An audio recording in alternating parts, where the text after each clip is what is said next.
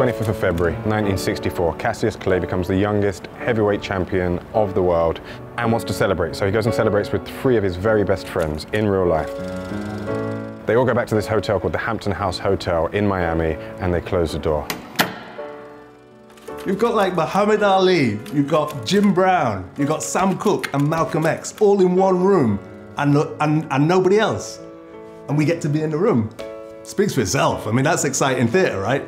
In 1964, you've got a world in crisis going through this massive upheaval and change.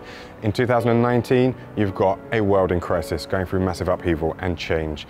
I think what this play brilliantly does is allow those themes to resonate incredibly loudly. That's what Kemp has done. You know, he's looked at that moment in time, those four men, and asked, in a way, what are we doing today with their legacy?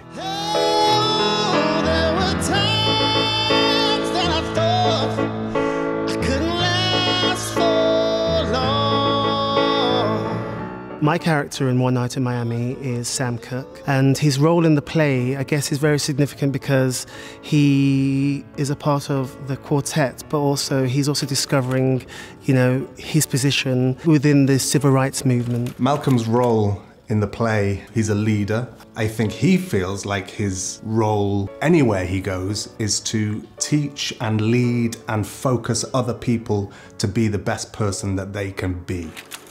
Essentially, these four guys are the engine, you know, of the civil rights movement in America in the 60s. We get to live with them. We get to hear them sing, we get to hear them joke, laugh, play, fight, and, and everything that comes with trying to work out what to do with the responsibility of being a black man in 1964 America. Coming.